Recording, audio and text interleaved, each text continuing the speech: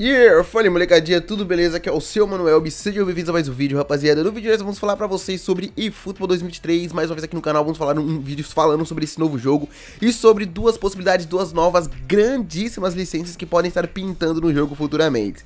Será, cara? Esse, essa especulação tem tomado grande força nessas últimas semanas, tá, rapaziada? Eu vou explicar pra vocês se há ou não possibilidades de termos essas grandes ligas chegando já nas próximas versões, tá, rapaziada? Então lembrando, mano, quem puder desde o começo do vídeo deixar aquele like se inscrever aqui no canal também para não perder mais nenhuma informação do que sairá futuramente de Futebol 2023 e também de FIFA e EAFC 24. Não esqueça de se inscrever aqui no canal, também traremos toda a cobertura completa do lançamento de UFL que deve sair em breve ainda esse ano, fechou? Então não quer perder nada sobre isso.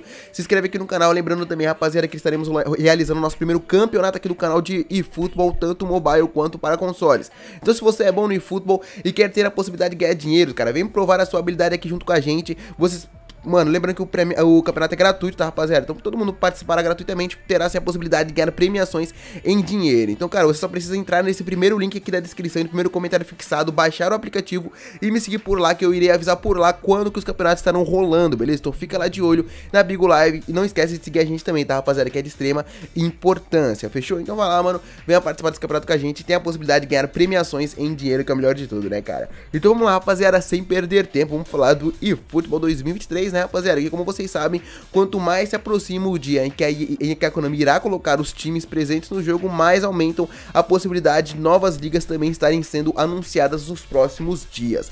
Como vocês sabem, já trouxe para vocês um vídeo recentemente aqui no canal falando sobre as ligas que já estão confirmadas até o momento. Inclusive, se você não viu, dá uma olhada no card aí acima, que lá eu, eu mano, passei a lista completa para vocês e eu deixei claro naquele vídeo que sim, teria possibilidades da Konami anunciar mais alguma nova liga posteriormente, né, cara? Tanto que depois que eu postei aquele vídeo, muitas novas ligas foram especuladas, é, a começar pelo concorrente, né, cara? Começar por, por um motivo, por algo que aconteceu um, em seu concorrente, no FIFA, tá, rapaziada? Que como vocês sabem, com essa parceria entre eSports e FIFA, não, daria, não dava só o direito ao nome da empresa para ser utilizado no game, mas também todos os seus torneios e campeonatos como a própria Copa do Mundo, né, rapaziada? Como vocês sabem, essa parceria que a EA tinha com a FIFA dava o direito do nome também dos seus torneios, como Copa do Mundo e até o Mundial de Clubes, que eu não entendo até hoje porque que não era utilizado e explorado pela EA Sports dentro do jogo, né, rapaziada? Agora que não temos mais essa parceria, essa parceria chegou ao fim de EA Sports e FIFA,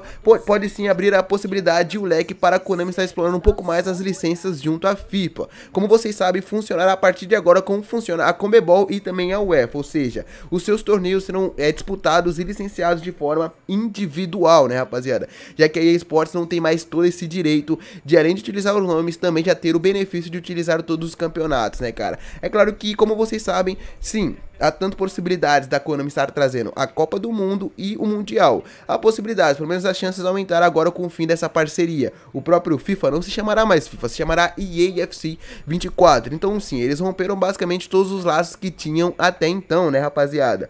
E bom, como vocês sabem, a Copa do Mundo já acabou. Inclusive, mano, foi no final do ano passado. Então não daria, não faria muito sentido a, a Konami licenciar esse campeonato por agora, né, rapaziada? Só que já que terá só uma próxima edição, só daqui a 4 anos anos. A EA Sports, por exemplo, sempre teve direito de utilizar esse torneio, né, cara? Apesar de não fazer mais é, modos específicos para o torneio, como fez no ano passado, com a realização do campeonato lá no Qatar, tinha esse torneio licenciado lá no modo carreira e no modo Copa, né, cara? Ou seja, mesmo sem ter a Copa do Mundo, vocês poderiam ir lá e jogar a Copa do Mundo 100% licenciado. Então, sim, seria talvez interessante a Konami visar colocar esse torneio dessa forma, já que não tem mais essa parceria em FIFA e esportes, a Konami sim tem possibilidade de licenciar os torneios da FIFA. Então, é claro, vai demorar para ter a, uma próxima Copa do Mundo, só em 2026. Então, talvez não seja tão interessante para o momento a Konami tentar afirmar essa parceria por agora, né, rapaziada? Então, talvez sim, eu concordo que seja uma coisa apenas para o futuro. Mas sim, caso aí a Konami queira, é uma possibilidade que poderia sim ser feita e seria muito bem-vinda. Mas eu concordo também com vocês que tem outras prioridades por momento que não a Copa do Mundo, né, cara? E outro torneio, é claro, organizado pela FIFA, que já é esse, muito pelo contrário, cara, já está se aproximando. Inclusive tem dado muito o que falar nesses últimos dias, como vocês sabem, é o Mundial de Clubes, que é outro torneio também organizado pela FIFA e que a Konami sim agora, a partir de agora, com o interrompimento dessa parceria entre EA e FIFA, tem a possibilidade de trazer esse torneio também licenciado, né, rapaziada? E muito pelo contrário da EA, o, o sempre teve o Mundial de Clubes ao término do ano. Eu nunca entendi, eu sempre falei isso pra vocês que eu nunca entendi o porquê que a EA Sports não colocava o Mundial de Clubes, tá, rapaziada, no jogo. Eu nunca entendi o porquê que eles trabalhavam dessa forma. Até porque eles tinham essa parceria com a FIFA e o Mundial de Clubes todo ano era, era disputado, né, cara? Então não faz sentido eles terem o direito do, da Libertadores e da Champions League e não colocar no Mundial de Clubes, né, mano? Isso nunca fez sentido algum, mas o, o PES, mesmo sem ter o direito desse campeonato, sempre teve Mundial de Clubes ao término do ano da Liga Master. Todo mundo que fez uma Master League vai lembrar muito bem disso, né, cara?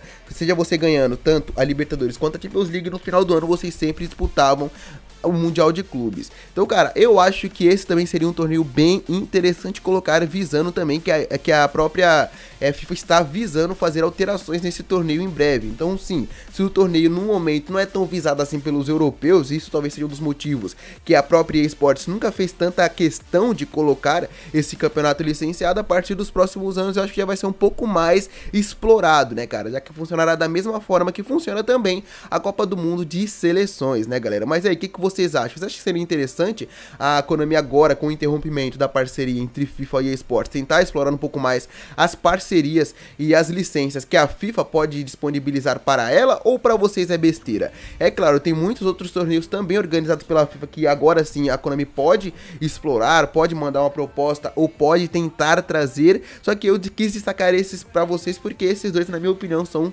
os principais e que esses pelo menos agregariam positivamente ao jogo. Mas qual a opinião de vocês, rapaziada? Vocês curtiriam ter essas, esses dois campeonatos? Ou vocês acham que a Konami iria gastar um dinheiro desnecessário? Como eu falei pra vocês, a Copa do Mundo no momento eu não considero tão essencial assim, mas o Mundial sim poderia ser algo bem legal e bem bacana. Imagina vocês ganharem o Mundial, terem da Liga Master, da Master Liga e ter lá o, o troféu certinho, o campeonato 100% licenciado, cara, ia ser sensacional. Bom, rapaziada, eu ficando por aqui, espero que vocês tenham curtido, não esqueça de deixar o seu like, se inscrever aqui no canal para não perder mais nenhuma informação que eu tenho pra trazer pra vocês futuramente. Até a próxima e falou!